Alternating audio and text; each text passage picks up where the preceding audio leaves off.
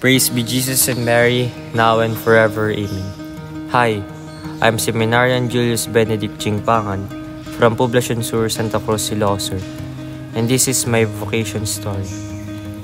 First of all, I want to greet you a blessed day.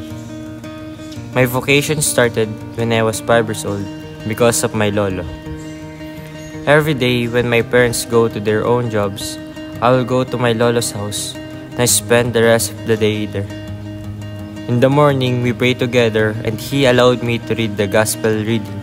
Then after I read the gospel, he explained it to me. And after that, we ate breakfast together. And in 3 o'clock p.m., we prayed the Divine Mercy. And after that, we play basketball. And in the evening, before dinner, we pray the Holy Rosary. And before I go in our house, we pray a night prayer.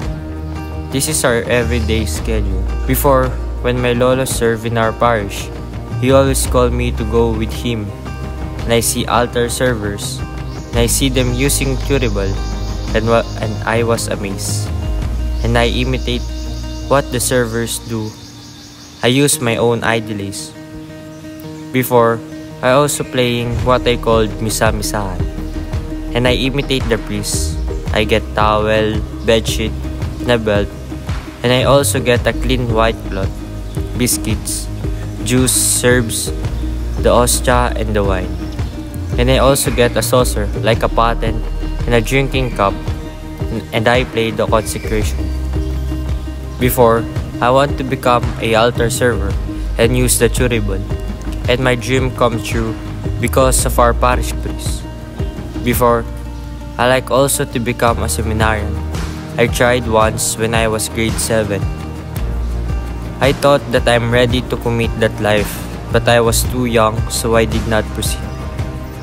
I want to include here our parish priest, who had a big factor in my vocation. He helped me to hear and answer the calling of the Lord to me, and I'm a seminarian now here in the Rogationist.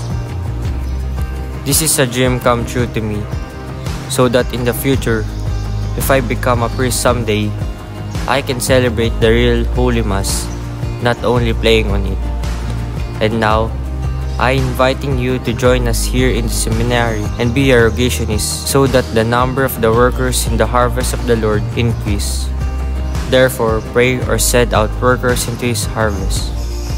Send, O Lord, holy apostles into your church.